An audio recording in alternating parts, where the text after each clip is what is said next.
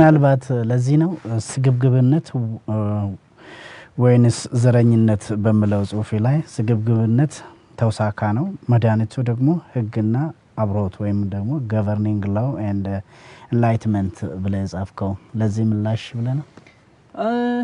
ብዙ ጽሁፎች ጽፍ ያለው ነገሩ በዚህ ጉዳይ ስለ ዘረኝነትም clear ለማድረግ ለእኔ የሚታየኝ አሁን ብዙ ጥቃቅን ነገሮች ላይ ሁል ጊዜ ጊዜያችንን ስለምናባክን ነው እንጂ ችግሩ አንድ ሌላ መሰረታዊ የሆነ መነሾ አለው ብዬ አስባለሁ።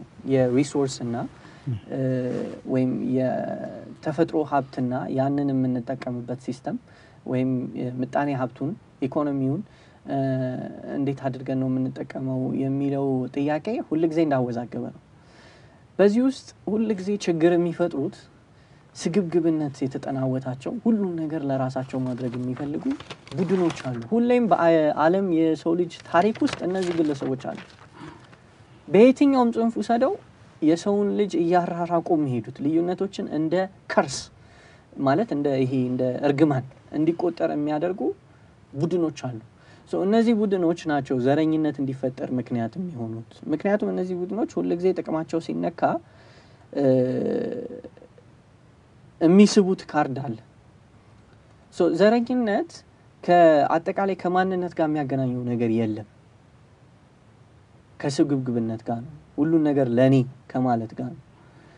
ግን አሁን ላይ እየተነሱ ያሉ የፖለቲካ እንቅስቃሴዎች መነሻቸው የነበረን የሚመስለኝ genuine የሆነ እኩል የሆነ የሀብት ክፍፍል ጤናማ የሆነ like ኮምፕሌክስ አድርገን ካየነው ስለ በጀት አመዳደብ የመሬት ስሪቱ እንዴት ነው መሬት ገቨርን መደረግ ያለበት?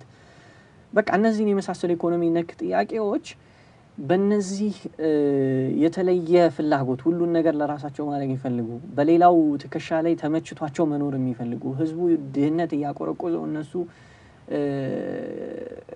ተመችቷቸው መኖር የሚፈልጉ ሰዎች ነገሩን ያጦዙታል እና ከመስመር ያስወጡታል እንጂ በጣም ቀላልና በአጭሩ ሊፈታ የሚችል ነገር ይመስለኛል። እንዳልከው በጽሁፉም ላይ እንደኔ መፍትሄ ሀሳብ ብዬ ማነሳው ህግ አንዱ መዳኛ ነው። ሰው ልጅ በጋራ ሲኖር እንጣላለን። እኔ እናንተ ባልና ሚስት ይጣላል፣ ልጆች ወንድምና እህት ይጣላል። ግን ገቨርን የሚያደርግ ሁል ጊዜ ህግ አለ ወይ ያልተጻፈ ኮንቬንሽናል የሆነ እሳቤ አለ፣ ገቨርን ሞራል አለ፣ አሊያ ደግሞ ካልተስማማን ሊዳኘን የሚችል ህግ መኖር አለበት። ጥብቅ ያለ ወዲያ ወዲህ የማያደርግ ማለት ነው። የተጻፈ ህግ አለ። ከዛ ውጭ ከሆነ የሚቀጣበት ሰው ማለት ነው። ምክንያቱም ማህበረሰቡ survive ማድረግ አለበት እሴቶቹን ጠብቁ። ያንን የሚንድ ከሆነ በህግ መታየት አለበት። ስለዚህ ህግ ወሳኝ ነገር ነው። እዛ ቀጥሎ ደግሞ ማህበረሰብ ንቃት ሊፈጠርለት ይገባል። awareness ያስፈልገዋል። ምክንያቱም ሁል ጊዜ መጫወቻው ማህበረሰብ ነው፣ ህዝብ ነው። ስለዚህ ህዝቡ ካልነቃ የብልጣብልጦች መጠቀሚያ ነው። እነዚህ ብልጣብልጦች ለራሳቸው ምቾት ሲሉ የህዝቡን ልዩነቶች exploit ሊያደርጉ ይችላሉ። ሁሉንም ሰብስበው ጨፍልቀው በዛ ውስጥ መጠቀም የሚፈልጉ ይኖራሉ። በአንጻሩም ደግሞ አይነት አሉ። ስለዚህ እነዚህ እንዳይሆኑ ህዝቡ genuine የሆነው ትክክለኛ ቀና የሆነው ጥያቄው እንዲመለስ የኢኮኖሚ ጥያቄው እንዲመለስ ከዛ ባለፈ ደግሞ ያሉት ሌሎች values የማህበረሰብ values የምንላቸው ቋንቋን፣ ሃይማኖትን፣ ወግን፣ ልማድን፣ ባህል እነዚህ የመሳሰሉ ነገሮች ጥያቄዎች ያሉባቸው ማህበረሰቦች መልስ እንዲያገኙ ማህበረሰቡ ነቅቶ መጠየቅ መቻል አለበት። እስኪ ከዚህ እንግዲህ አንተ ከምትተችበት እና እንደውም በአንድ ጊዜ የታሰርክበት ጊዜ የኦነግ ደጋፊ ወይ ደግሞ አባል ወይ ደግሞ አሸባሪ ተብለ የታሰርክበት ሁኔታ ይሄ ከዘረኝነት ጋር የሚያያይዙ ወገኖች እንዳለ ሁሉ አይ ዮናታን ተስፋዬ እኮ ከቤተሰቡን ራሱ መለስ ብለን ብናይ መሰረቱን በተለይ አሁን እሱ የመሰረተው ቤተሰብ ይሄንን አይገልጽም የምለው አለሁ። ምንድን ነው እስኪ የምትገልጽልን? ቅድ- ቅድም ያልኩ እኮ ነው። ይሄ አሁን የፖለቲካውን አየር መረበሽ የሚፈልጉ ሰዎች አሉ። በቃ በግልጽ ምንድን ነው አሁን ቤተሰብ እስኪ ቤተሰብ አለ? ምን አይነት ቤተሰብ? አለኝ ቤተሰብ አለኝ። እኔ እኔ አሁን የተወልጄ ያደግኩትም እዚሁ ሸገር ላይ ነው። ቤተሰቦቼም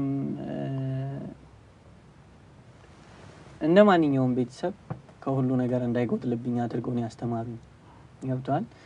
እና ተወልጄ ባደግኩበት አካባቢ በትምህርት ቤቶቼ፣ በዩኒቨርሲቲ ከዛ በኋላ በስራ በፖለቲካም የነበሩኝ ከተለያዩ ሰዎች ጋር የነበረኝ ግንኙነት ማህበራዊ ግንኙነት፣ የስራ ቦታ የነበረው ግንኙነት እኔን የቀረጸኝ መልኩ አለ። ቅድም እንዳልኩ ሁሉም ሰው ስህተት እንዳልሆነ፣ ሁሉም ሰው ትክክል እንዳልሆነ እረዳለሁ። ያ ማለት ምን ማለት ነው?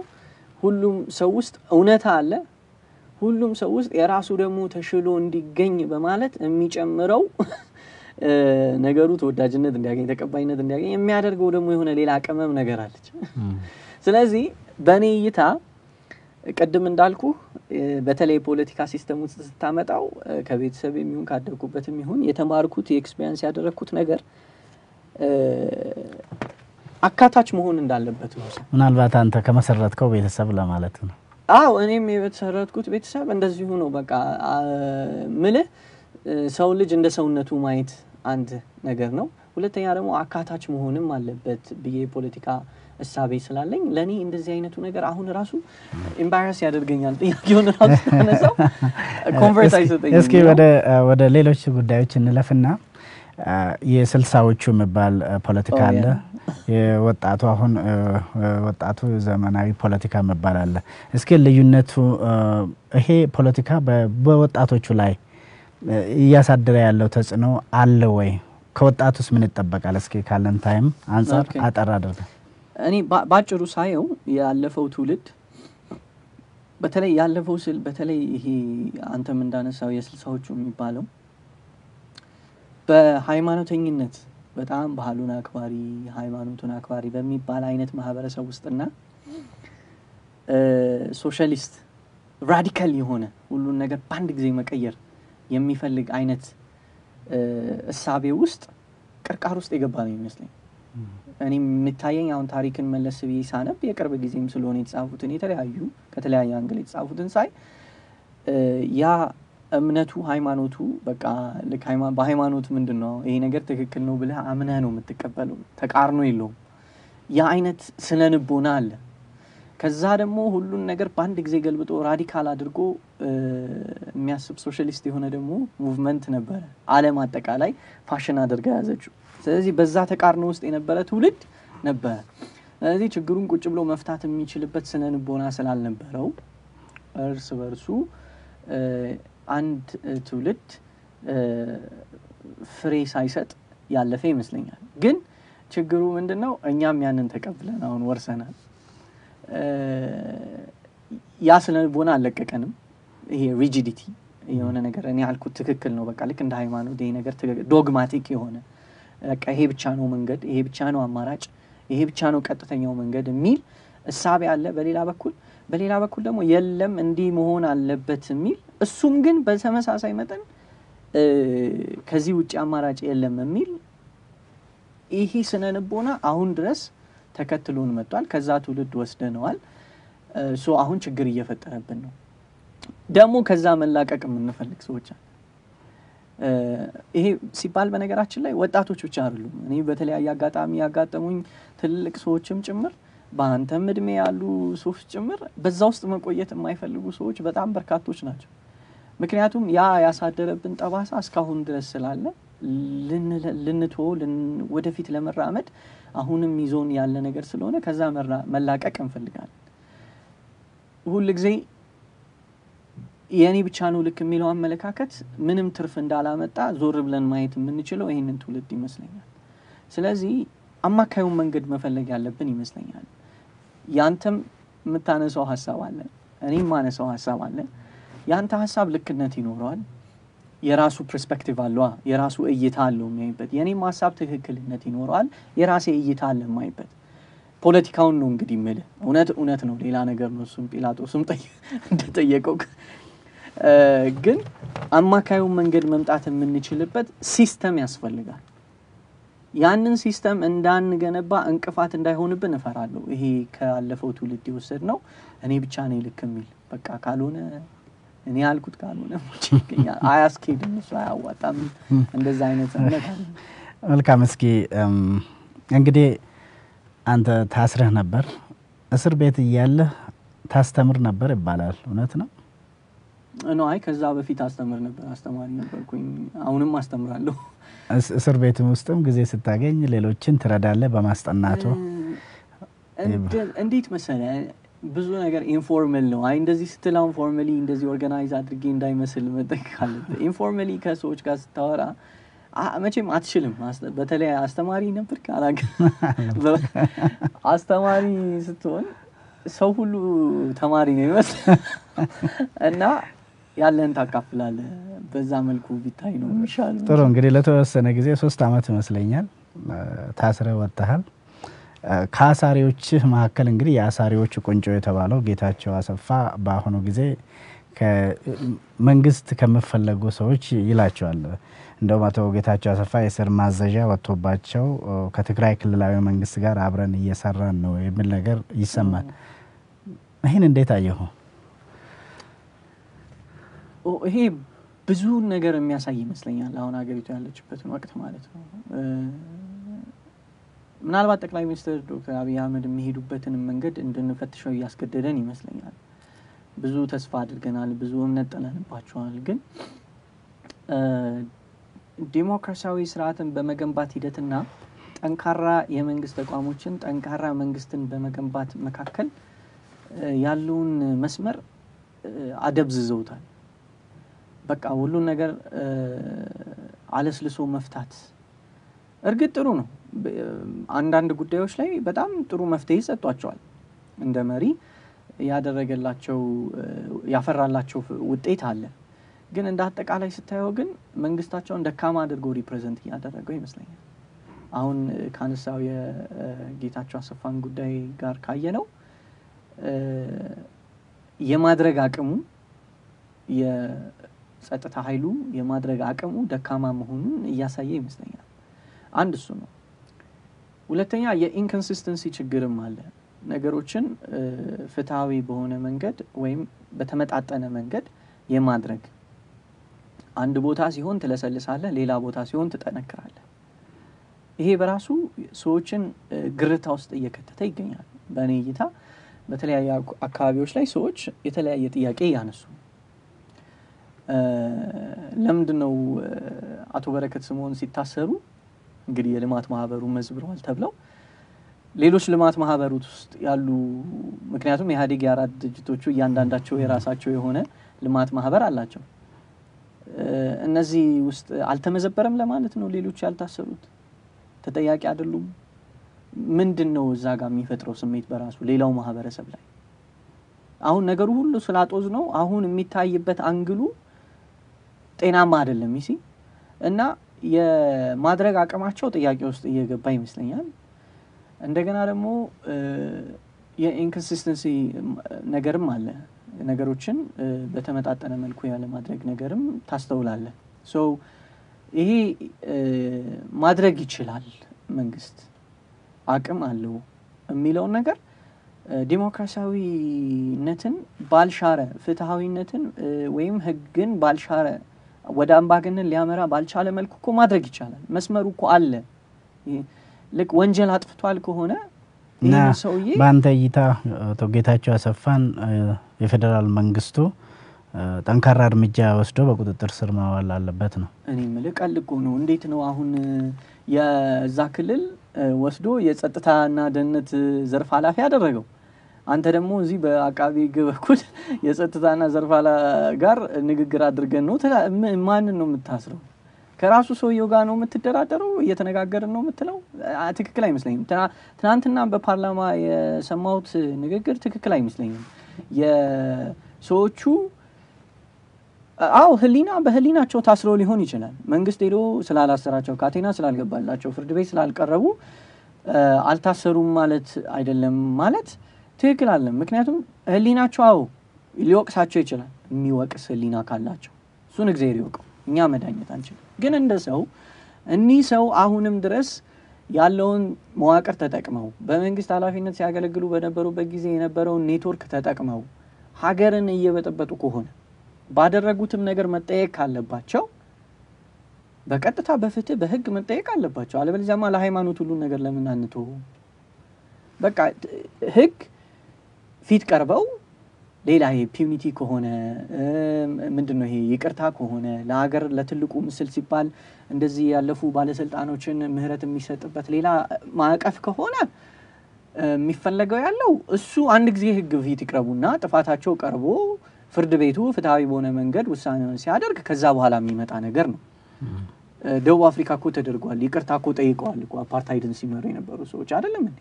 ስለዚህ ኢትዮጵያ ውስጥ ያ መሆን የማይችልበት ምክንያት ሊኖር አይገባም። በቃ የጸጥታ መዋቅሩን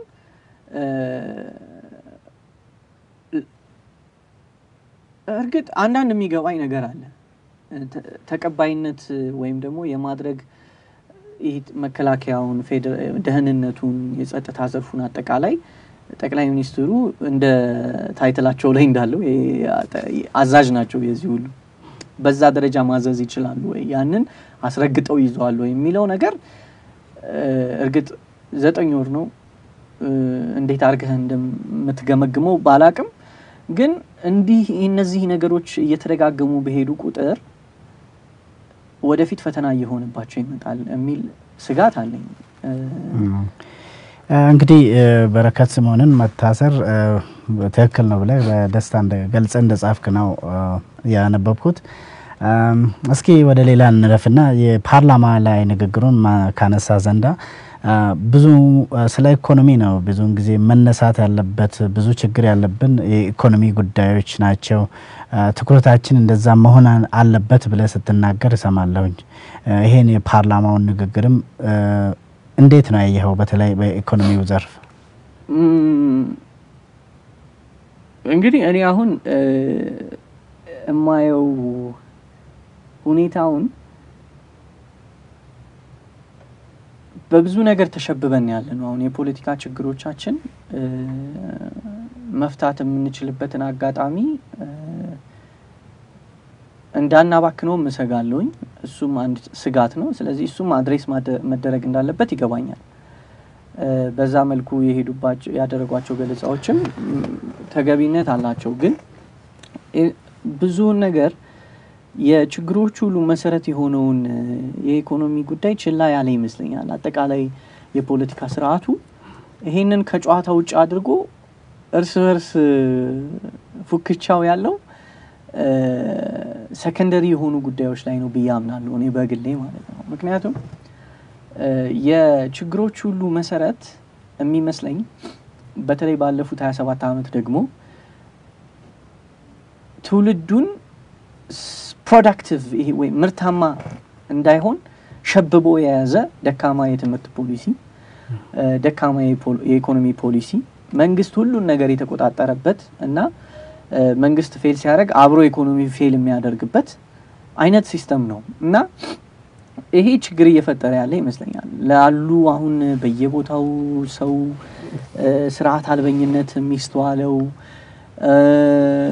ችግር፣ ግጭት እዛም እዚህም የምትሰማው ብዙ ስራ የፈታ ሰው ስላለ ይመስለኛል። ኢኮኖሚው አኮሞዴት ሊያደርጋቸው ያልቻሉ በርካታ ወጣቶች ስላሉ ይመስለኛል። እንግዲህ እሳቸውም እንደተናገሩት ብዙ ስታቲስቲክስም እንደሚያሳየው በየአመቱ ሁለት ሚሊዮን ሰው እየተመረቀ ወይም ወደ ስራ ለመግባት ዝግጁ ሆኖ ግን ስራ የሚያገኘው አንድ ሚሊዮን የሚያህሉ ብቻ ነው። አንድ ሚሊዮኑ በየአመቱ ይከማቻል ማለት ነው። ይህንን ችግር ሊፈታ የሚችል የአጭር ጊዜ እቅድ የሚያስፈልግ ይመስለኛል። ባለሙያዎች በብዛት አሉ። በውጭ ዓለም የሚኖሩ እዚህም ሀገር ያሉ በርካታ ባለሙያዎች አሉ። የኢኮኖሚ ባለሙያዎች የተለያዩ ጽሁፎችን ኮንትሪቢዩት ሲያደርጉ እናያለን። እነዚህን መጠቀም ያለባቸው ይመስለኛል ጠቅላይ ሚኒስትሩ። አሁንም ትናንትና ፓርላማው ላይ የሰማሁት ነገር ጥቅል ነገር ይበዛዋል።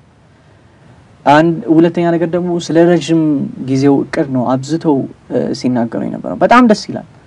በዛ ደረጃ እቅደን ማሰባችን የዛሬ አስር ዓመት የዛሬ ሀያ ዓመት ችግሮች እንዴት እየተፈቱ ሊሄዱ እንደሚችሉ አስቀድመን ማየታችን ጥሩ ነው፣ ተስፋም ይሰጣል። ግን አሁን ላይ ያለውን ችግር እንዴት አድርገን ነው መፍታት የምንችለው? ከዛ ጋር በተገነዘበ መልኩ ለረዥም ጊዜ እቅድ ከተባለው ጋር በተገናዘበ መልኩ እንዴት ነው ልንፈታው የሚችለው? ግን እኔ በበኩሌ አላየሁም።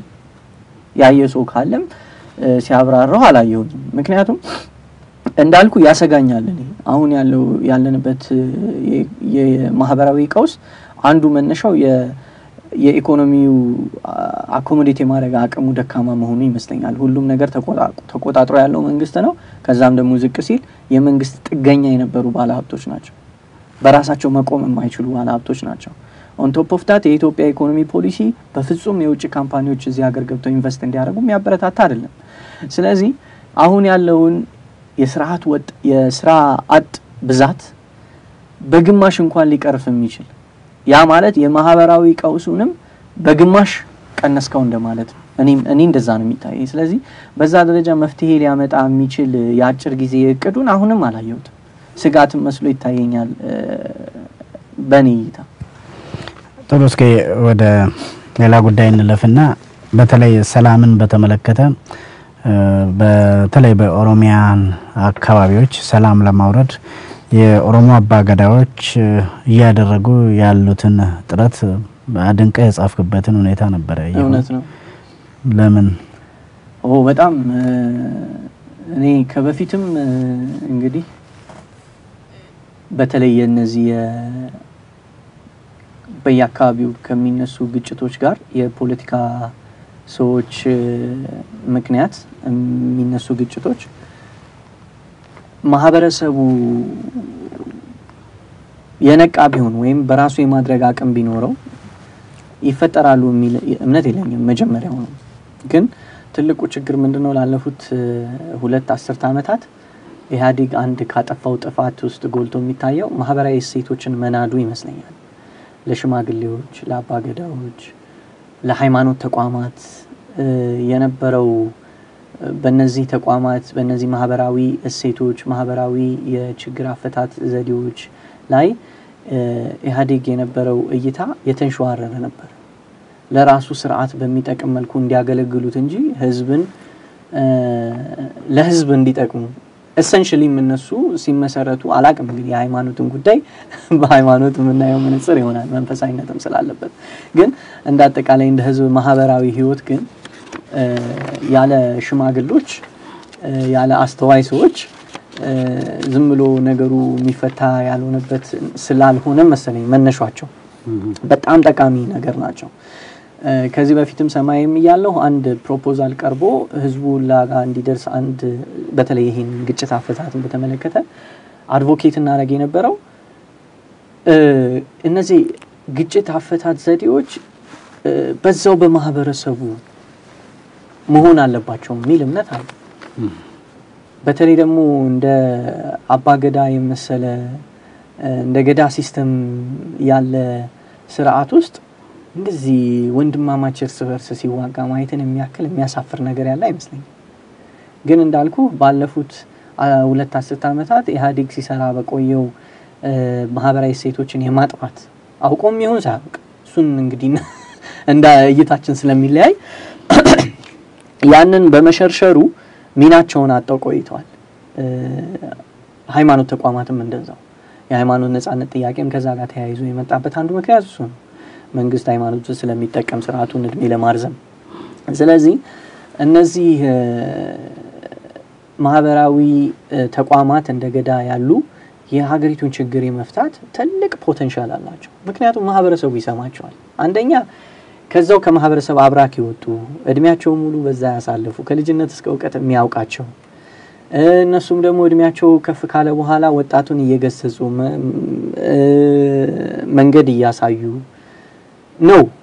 ማህበራዊ መስተጋብሩ እንደዛ አድርጎ ነው system ኡን build ያደረገው። ስለዚህ እነዚህ ሰዎች እያሉ እንዴት ነው የምንታመሰው? ለምንድን ነው ስምስ የሚጠፋው? የአንድ ህዝብ ስም በፖለቲካ ኃይሎች ምክንያት ይሲ ትልቅ አቅም አለ ህዝብ ውስጥ የህዝብ እሴት ውስጥ። ስለዚህ እኔ በዛ ሰዓት የተወሰደውን ነገር በእውነት በቀናነት ነው ያየሁት። ወደፊትም ይሄው ነገር ነው ሊቀጥል የሚገባን ብዬ ነው ማስበው። እንደዚህ ያሉ ማህበራዊ እሴቶች በኦሮሚያ ክልል ብቻ ሳይሆን ወይም በኦሮሞ ማህበረሰብ ብቻ ሳይሆን በሌላውም ማህበረሰብ ውስጥ አሉ የሽምግልና ስርዓቶች። ለእነሱ ቅድሚያ ሊሰጥ ይገባል። ቅድሚያ ሊሰጥ ይገባል ስል ያው ሁሌ አለ በተለይ ወንድም ማን ነው እንደዚህ የአካባቢ ሰው ሲጣላ ምናምን ያደርጋሉ። አሁንም ድረስ ያደርጋሉ። ኢህአዴግም በነበረ ሰዓት እንደዛ እሴቱ እየተናደ ባለበትም ሰዓት ያደርጋሉ። ግን ከዛም ያለፈ ትልቅ ፖቴንሻል አላቸው። ፖለቲከኞችንም ጭምር የማስገደድ ማህበራዊ ድጋፍና ቅቡልነት አላቸው። ህብረተሰቡ ያያቸዋል፣ ይሰማቸዋል፣ ይቀበላቸዋል። ስለዚህ የፖለቲከኞችን ራሱ የማስገደድና ማህበረሰቡ በሚፈልገው መልኩ እንዲሄዱ የማድረግ አቅም አላቸው። ያንን መጠቀማቸው ወይም ያንን የሚጠቀሙበት ምህዳር ሲፈጠር በማየቴ የሆነ ተስፋ ታይቶኛል። ግብ አድርጌ አላየሁትም፣ ግን ሁነቱ በራሱ የሆነ ተስፋ እንዲሰጠኝ ወደፊት ብዙ ሚና ይጫወታሉ፣ አቅም አላቸው፣ አቅማቸውን መጠቀም ማህበራዊ ምቅ አቅማቸውን መጠቀም ይችላሉ የሚል ተስፋ ስለሰጠኝ ደስ ብሎኝ ነው ያየሁት። መልካም እንግዲህ አሁን ለውጥ ውስጥ ነው ያለ ነው። አንዳንዶቹ ለውጥ ውስጥ ነው ያለ ነው፣ አንዳንዶቹ ደግሞ ሽግግር ውስጥ ነው ያለ ነው ይላሉ። በአጠቃላይ ለውጡም ይሁን ሽግግሩ መሬት እንዲይዝ በተለይ ከወጣቶች ምን ይጠበቃል ነው የምትለው አንተ? አው እሱ በጣም መሰረታዊ ነገር ነው። እንግዲህ ወጣቶች በተለይ ያው የሀገሪቱንም አብዛኛውን የህዝብ ሽፋን በቁጥር የሚበልጡት ወጣቶች ናቸው። ወደ ሰባ አምስት percent በላይ ነው። ስለዚህ ግዙፍ ኃይል ነው። የዚህ ግዙፍ ኃይል ቅንጣቶች ወይም በጣም ጥቂቶች ናቸው ብዙ ዋጋ ከፍለው ዛሬ ያለንበት ላይ የደረሰው። ስለዚህ ብዙ ጊዜ ሁሉም ሰው እንዲያደርገው ነገሮችን መጠበቅ ያለብን አይመስለኝም። ሁሌ የለውጡ መንገድ የሚቀይሱት መንገዱን የሚጓዙት ጥቂቶች ናቸው። ስለዚህ ያን ከግምት አስገባለሁ። ግን አጠቃላይ ደግሞ እንደ ህዝብ መንቃት ደግሞ አለብን።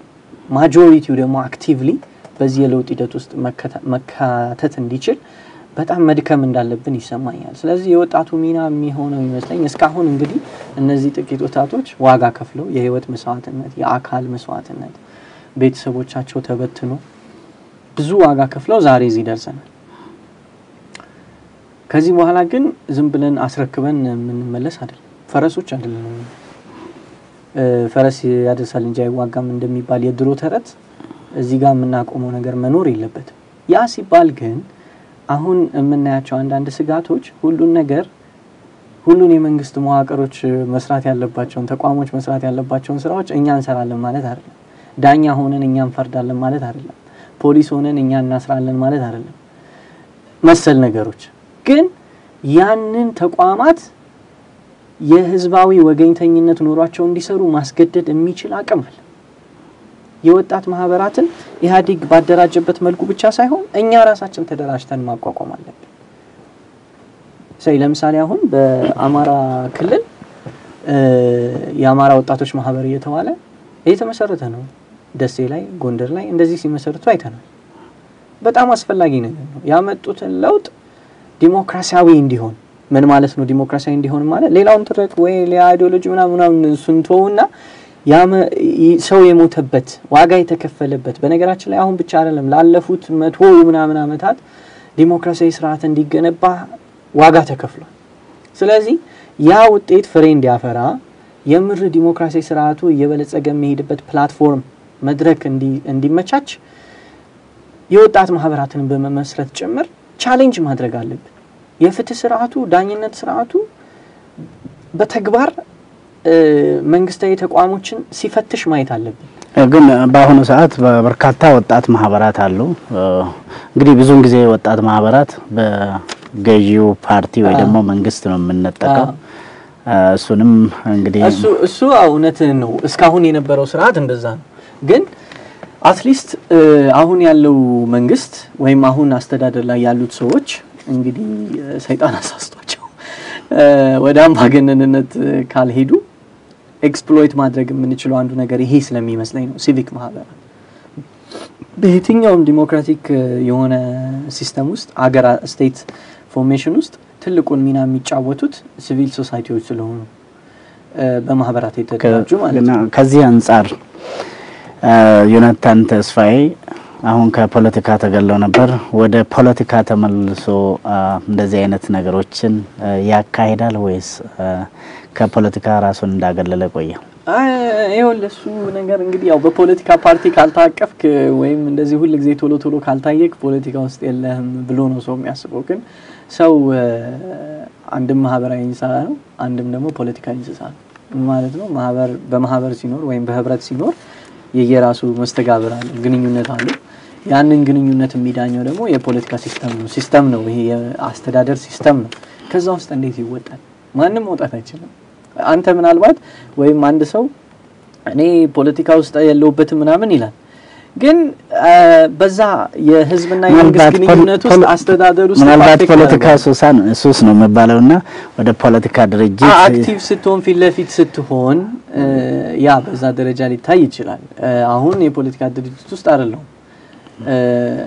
ምናልባት እኔን የሚመስልም የፖለቲካ ድርጅት አላገኘሁም ወይ ምናልባት እኔ እንዳልመሰረት ጥቂቶች ሆነን ይሆናል። ያው ግን ቁም ነገሩ ግን አለሁኝ አሁንም actively የህዝብ መብት እንዲከበር የምችለውን ነገር እያደረግኩ ነው። በተለይ እነዚህ ማህበራት እንዲመሰረቱ ደግሞ የበኩሌን አስተዋጽኦ አድርጋለሁኝ። ምክንያቱም ወጣቱ እንደዚህ ዝም ብሎ ራሱ ነገሮችን በማድረግ ሳይሆን አስፈጻሚ አካላት ህግና ስርዓትን ጠብቀው ነገሮችን እንዲያከናውኑ እየተደራጀ መፈተን challenge ማድረግ ስለሚችል ያንን የምናደርግበት ደግሞ ማዕቀፎች ሳስተው ይታዩኛል። አሁን ለምሳሌ አሁን የማህበራት ማደራጃ አዋጅ የ civil societies proclamation እየታየ ነው። አሁን እንደውም በቅርቡ እንደሚሻሻል እንትኑ ሁላ ወጥቷል። ይሄ ረቂቁ ወጥቷል። ስለዚህ ይሄ ፍጻሜ አግኝቶ በነጻነት ሰዎች መደራጀት የሚችሉበትና ማህበረሰብን የማንቃት ስራ መስራት የሚችሉበትን የማህበራት መስፋፋትን በሙሉ ኃይል የሚደግፈው ነው፣ በሙሉ ኃይል የሚሰራበት ነው ብዬ አምናለሁ። ምክንያቱም እሱ ነው አሁን ክፍተት ያለበት አካባቢ እንግዲህ እንጠብቃለን። ዮናታን እንግዲህ ከራሴ በኩል ጨርሻለሁ ያለኝን ጥያቄዎች ሁለት ደቂቃ እሰጥሃለሁ። ቀርቶኛል የምትለው ነገር ብዙም የቀረ ነገር ያለ አይመስለኝም። ብዙ ነገር አስለፍልፈኛል። ቆይቼ ነበር መሰለኝ ካወራሁ። ምናልባት እኔ እንደው እንደ ሀሳብ የማጠቃልለው ነገር ሰው ልጅ ያስባል። ሰው ልጅ ከሌላው ፍጥረት ሁሉ የሚለየው ትናንትን አሻግሮ ትናንትን አስታውሶ ነገን አሻግሮ ማየት የሚችልበት አይነ ልቡና አለው። ይህንን ማሰብ የመቻል አቅም ልንጠቀምበት ይገባል። ትምህርቱ፣ ባህሉ፣ ወጉ ባያድለን እንኳን እኛው ራሳችን ይህንን ተፈጥሯዊ ባህሪያችንን ማጎልበት አለብን፣ ማሰብ አለብን፣ ቆም ብለን ማሰብ አለብን። ሁሉ ነገር በጉልበት የሚፈታ እንዳልሆነ ሌሎች ስልቶች እንዳሉ ዞር አድርገን ማየት አለብን። ብዙ ስልቶች አሉ፣ explore እናድርግባቸው። በተለይ ደግሞ በዚህ ባለፉት የትግል አመታት አንዱ የተማርንበት የሚመስለኝ ነገር በርካታ ወጣቶችን መስዋዕት የሆኑበት በጉልበት ብቻ አይደለም፣ ራስንም አሳልፎ በመስጠት ጭምር መስዋዕት ሆኖ የሌላውን ጥቅም ማስከበር እንደሚቻልም ጭምር ነው። ያስቸገረኝን ሰው ዝም ብዬ ገድየው ወይም አባርየው መፍትሄ ማምጣት ብቻ እንደ አማራጭ መወሰድ የለበትም። እሱ ሌላ consequence አለው፣ ሌላ ጣጣ አለው። አሸናፊ ተሸናፊ ነገር ይፈጥራል። ግን በሀሳብ በሞራል ልዕልና በህሊና የበላይነት ወስደን ገዢዎችን ወይም ደግሞ በስልጣን ላይ ያሉ ሰዎችን የእኛ አገልጋይ ማድረግ የምንችልበትን የሀሳብ ልዕልና ይዘን እንድንታገል ያስፈልጋል። ያ ደግሞ ከማሰብ ይመነጫል፣ ከመጠየቅ እንዴት ላድርገው ብሎ ሌሎች አማራጮችን ከማየት ይመነጫል እና ይችን ሀሳብ ሁሉ ሰው ልብ ላይ ብትደርስልኝ በጣም ደስ ይለኛል። አመሰግናለሁ። እኛም እናመሰግናለን። እዚህ ፍንፍኔ ወደሚገኘው ስቱዲዮችን መጥተስ ይህንን ሰፊ ማብራሪያ ስለሰጠን በተመልካቾቻችን ስም ከልብ እናመሰግናለን። እኔም በጣም አመሰግናለሁ።